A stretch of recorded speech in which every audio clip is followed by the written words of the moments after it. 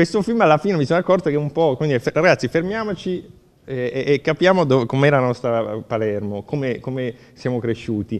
Con gli occhi di oggi, io dico, io essendo quarantenne avevo 20 anni nel 92 perché la tragedia, le, le stragi del 92 ci hanno segnato e un po' forse io faccio parte di quella generazione che non eh, appunto segnata da quelle stragi, non ha più la rassegnazione che, che aveva la, la, generazione dei miei genitori. E quindi andate a vedere questo film, per carità cristiana.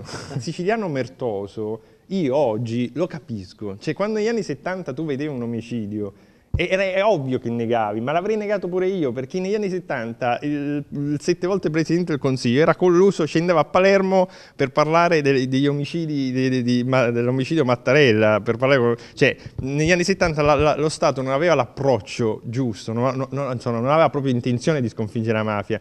Io mi, ho, ho, incontrato, purtroppo nel film non l'ho potuto mettere, un poliziotto che andava a arrestare i latitanti mafiosi con la sua 500 gialla.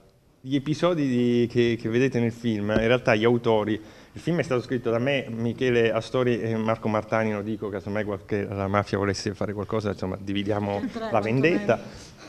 Eh, però sono tutte tratte da cose vere, quindi eh, in realtà parte dei diritti SIAE che mi arriveranno da questo film io lo dovrò dividere con Totò, Rina e, e tutti gli altri, quindi mettetevi d'accordo, insomma non, non cominciare a fare scoppiare una guerra di mafia per le SIAE di questo film. Ovviamente questo è un film bellissimo, no, scherzo, eh, io non l'ho visto, sceneggiatura straordinaria, Piff è un autore vero, ha dimostrato a Torino il successo che ha avuto il film, adesso lo vedrò e poi verrò di nuovo a dirti che è bellissimo. Ciao.